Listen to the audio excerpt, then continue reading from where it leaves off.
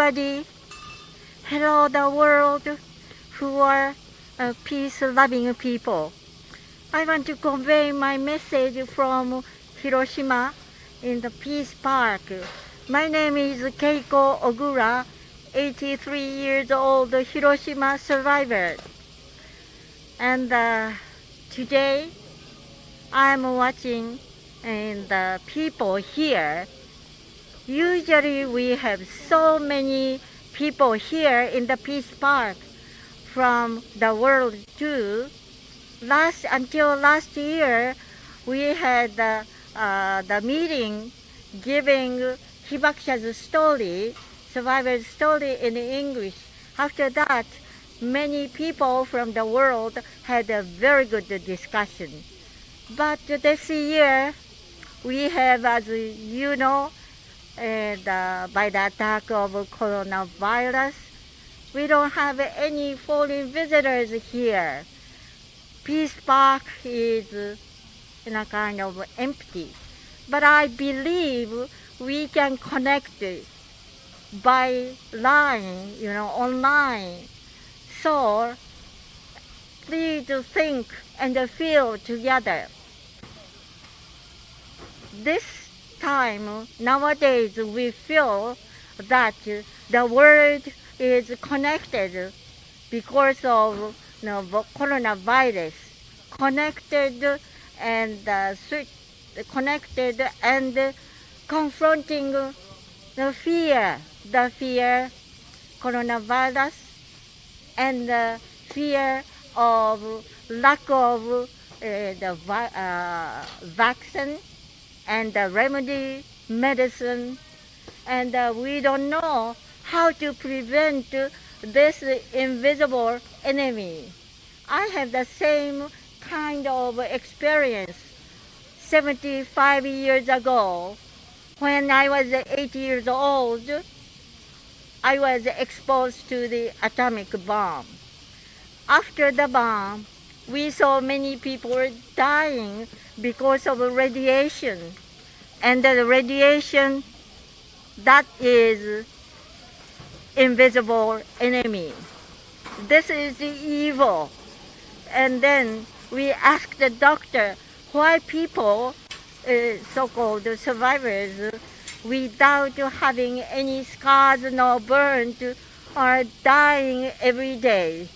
There was no remedy, there was no medicine, and moreover, there was the very severe rumor, rumor and uh, like uh, discrimination. It's better not to get married a person who was in the city. That was caused by the fear of radiation. We had a strong fear for the future generations. And now we have the same kind of feeling without being united, without solidarity, we cannot conquer this fear.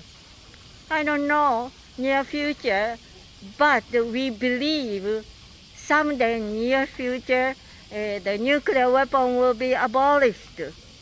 There are so many people signed for uh, the anti-nuclear weapon treaty, you know. So because of that, we have a hope. And I know, like I can, and so many young people joined to do this uh, activity. So now we have the same kind of fear, but the same kind of solidarity. We have a strong will to fight against coronavirus, but we have to again continuously fight against nuclear weapons. Now I am standing here in the Peace Park. Underneath of me, still there are so many human remains, bones of the victims. In front of you, you see the cenotaph. And there are so many people, and the victims' names are listed. Every year, around 3,000 to 5,000 people were adding. That means hibakusha, uh, the number of hibakusha is less and less. I am 83 years old. That is the average of hibakusha's age.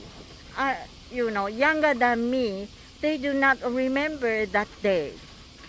And then from now on, what is needed is you yourself, individual people, think what you can do.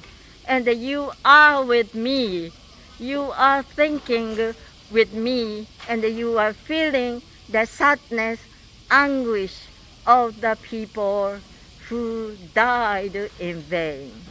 So, thank you so much and uh, sharing my experience with you and being here with, with me.